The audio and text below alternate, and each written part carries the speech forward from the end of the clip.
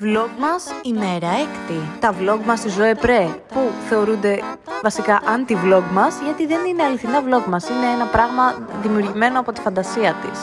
Καλή θέαση. Μόλις έχω ξυπνήσει. Θέλω να καταλάβετε τι ζω κάθε πρωί που βλέπω αυτό εδώ πέρα.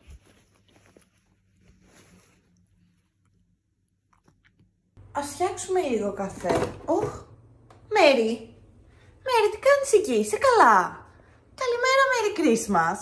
Όλα καλά; Γιατί είσαι πάνω στο air fryer; Θέλεις να γίνεις tiktoker; Vlog μας, ημέρα. Έχω μπερδευτεί, δεν θυμάμαι. Έχουμε ξυπνήσει μόλις.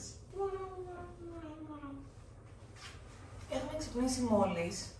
Και θα πιω έναν καφέ. Ναι, Χωσέ. Θα φάω λίγο πρωινό. Θα πάμε βόλτα με το Χωσέ. Και μετά έχω 5 ώρες group therapy. Οπότε δεν θα με δείτε πολύ. Αλλά θα φροντίσουμε το απόγευμα να κάνουμε πράγματα. Εννοείται ότι θα πιω καφέ στην πιο αγαπημένη μου κούπα από την Ισλανδία. Καφές.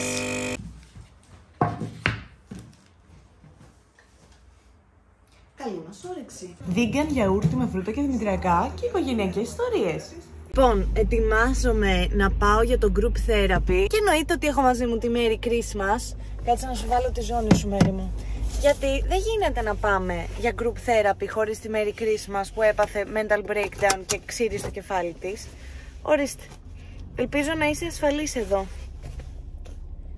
Καλά θα πάνε όλα Μαρία μου. Θα πάμε στο group therapy και όλα θα γίνει καλά. Χαχα, καλημέρα. Παιδιά, πήγα να περάσω από το κέντρο και είναι κλειστό και δεν ξέρω τι συμβαίνει. Έχω φάει μια μίνι φρίκη. Ε, γιατί ξαφνικά μας βάλαν όλους να στρίψουμε για να μην περάσουμε από το κέντρο και είδα ανθρώπους να βγαίνουν από τα μάξια τους να τρέχουν σε κάποια φάση και λέω κοίταξε γίνεται πόλεμος, κάποιος μας σκοτώνει. Βέβαια η Μέρη μου είπε να μείνω ψύχρεμη. Μέρη, σε ευχαριστώ πάρα πολύ κορίτσι μου. Η Μέρη, εγώ και η Μέρη βγαίνουμε.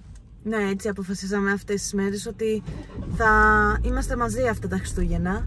Τώρα δεν ξέρω πώς θα πάει η σχέση μας, αλλά ναι. Για τώρα. Πόσο μου είχαν λείψει τα εξάρχεια το πρωί, παιδιά, που δεν υπάρχει ψυχή και είναι όλα τόσο ωραία. Και το κέντρο γενικά το πρωί είναι τέλειο. Όσο θα περιμένω για να μπω στο ραντεβού μου, θα σας πω για το Spotify Wrapped μου, τι μου βγήκε, γιατί ξέρω ότι εννοείται ότι χεστήκατε για το τι μου βγήκε εμένα στο Spotify Wrapped, αλλά νομίζω ότι πρέπει να σας το πω, παιδιά μου. Δεν γίνεται να, να μην ξέρετε, να με γνωρίζετε. Αυτό που με κάνει τρομερή εντύπωση είναι ότι νούμερο ένα artist μου βγήκε η Doja Cat. Εγώ φέτος, όπως όλοι νομίζω, αλλά εγώ δεν ακούω τέτοια μουσική. Έχω φάει, έφαγα ένα μικρό σκάλαμα με την Doja Cat. Νομίζω ότι είναι από όλες τις pop artists, νομίζω ότι είναι η αγαπημένη μου. Από όλες. Αριάνες, ε, Νίκη Μινάζες, Cardi B's, νομίζω η Doja είναι η καλύτερη. Πρώτη μου βγήκε η Doja Cat, μετά εννοείται ότι μου βγήκε η Billie Eyelashes. Τρίτη μου βγήκε η Madonna, γιατί φέτος εγώ έχω φάει ένα σκάλωμα και ακούω όλα τα παλιά της Madonna, τύπου Frozen, Beautiful Stranger, ε, Madonna δηλαδή μέχρι 2005. Μετά δεν ακούγεται. Τέταρτος μου βγήκε ο Μαραβέγιας, προφανώς. Και πέμπτη μου βγήκαν οι Beach House που κάθε χρόνο μου βγαίνουν στο top 5. Εντάξει. Κλασική σταθερή αξία. Από τραγούδια θέλετε να σας πω, δεν θα σας το πω, θα σας το γράψω κάτω στα σχόλια. Και θα μου γράψετε κι εσείς κάτω στα σχόλια ποια ήταν τα top 5 τραγούδια που σας βγήκαν στο Spotify. Αυτά. Χαίρομαι πάρα πολύ για τις επιλογές μου. Η Doja κάτι ήταν λίγο unexpected γιατί ήξερα ότι άκουγα φέτος, αλλά όχι τόσο πολύ.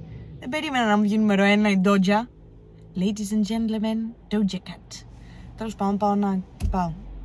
Χαρούμενη Κυριακούλα να έχουμε, μωρά μου. Μέρι, κόριτσι μου. Κούκλα μου. Μέρι μου. Εσένα τι σου βγήκε στο Spotify Wrapped; Ή δεν έχεις Spotify εσύ; Τα ακούς από το YouTube; Ε, βέβαια, προφανώς και τα ακούς από το YouTube. Μέρι, ήρθε η θεία Λιρένα. η Μέρι, η καινούργια μου κοπέλα. Όχι. Ναι. Πάμε να κάνουμε group therapy. Σαν group που είμαστε. Πάμε γκρουπ κουτσίνε.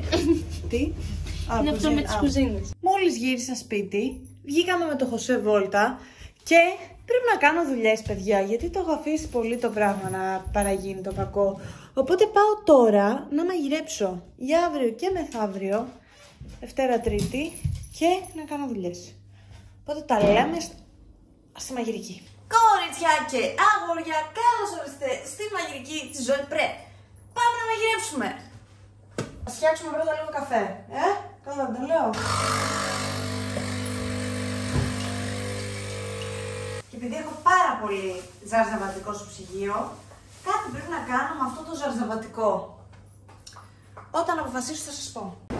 Λοιπόν, έχω βάλει μέσα στο air fryer κολοκυθάκι, μελιτζάνα και σκορδό και γίνεται σιγά σιγά.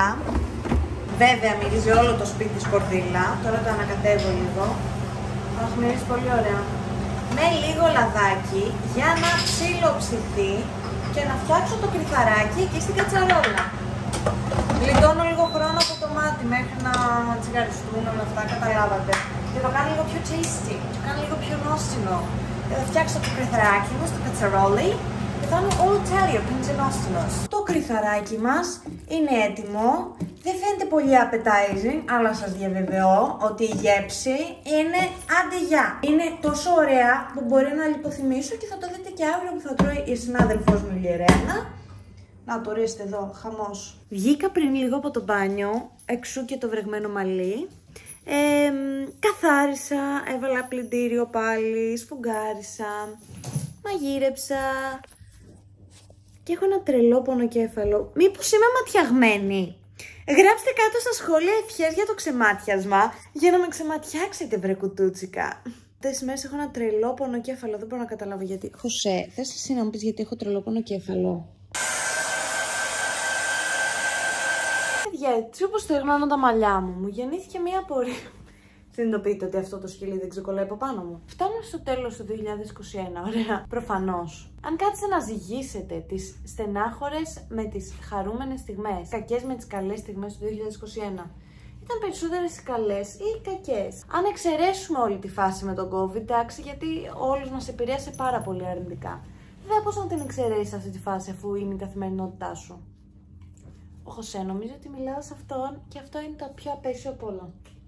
Είχατε καλές στιγμές το 21. Ήταν καλύτερο από το 2020. Συνηθίσαμε ίσως την πανδημία και μας φάνηκε λιγότερο δραματικό. Όχι, δεν την έχουμε συνηθίσει. Εγώ δεν μπορώ να τη συνηθίσω. Δεν ξέρω. Ίσως είναι, δεν είναι η κατάλληλη ώρα για έτσι τόσο σοβαρή συζήτηση. Γιατί έχω κι εγώ ένα τρελό πονοκέφαλο. Έχω πονοκέφαλο, παιδιά, δύο μέρες τώρα. Και στο μαχόπονο.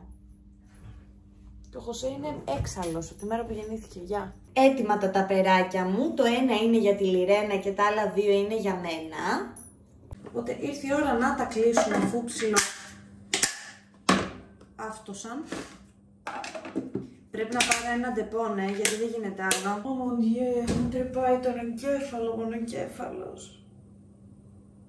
Πονάω εδώ. Σήμερα το group therapy που κάναμε, βασικά δεν είναι ακριβώς group therapy, το είπα τώρα group therapy, δεν είναι group therapy, είναι ομαδικό,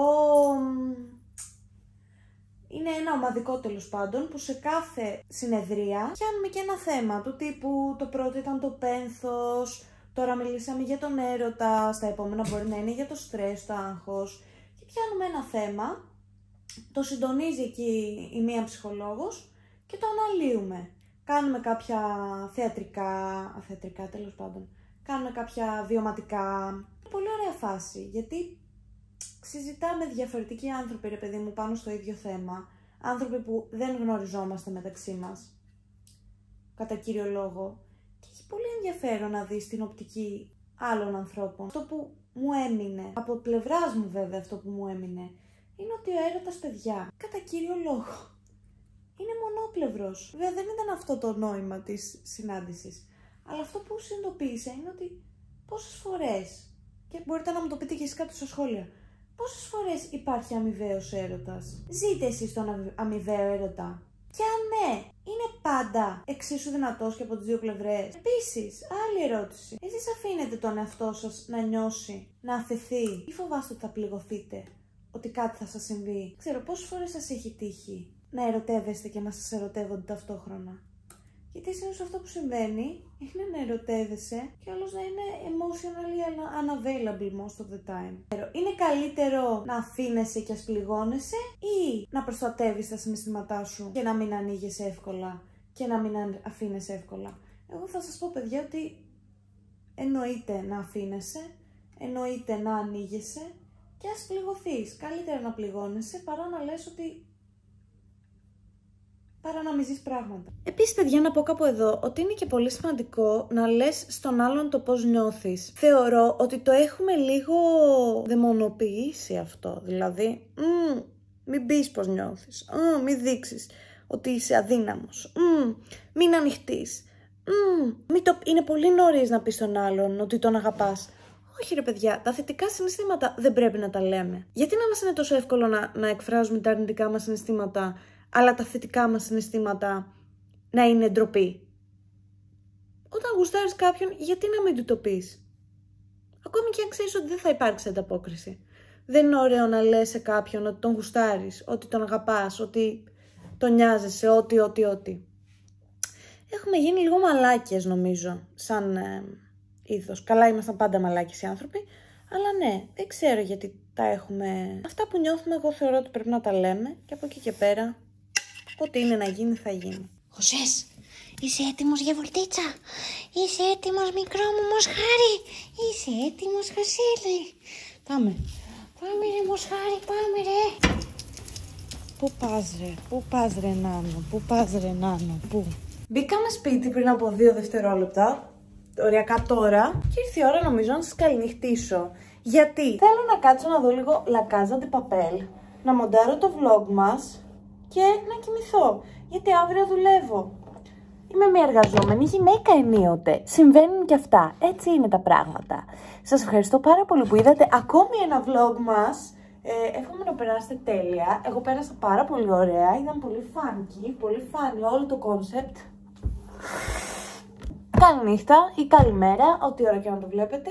Ε, περάστε τέλεια, χωρίς χρόνο. Συνεχίστε τη ζωή σας. Μετά από μένα λογικά ανεβαίνει το vlog μας του Porf του Fipster. Ε, όποιον θέλετε το vlog μας να το δείτε. Αυτά. Για τώρα. Πάω να δω λακάζα γιατί δεν το έχω τελειώσει ακόμη και ανυπομονώ. Γεια!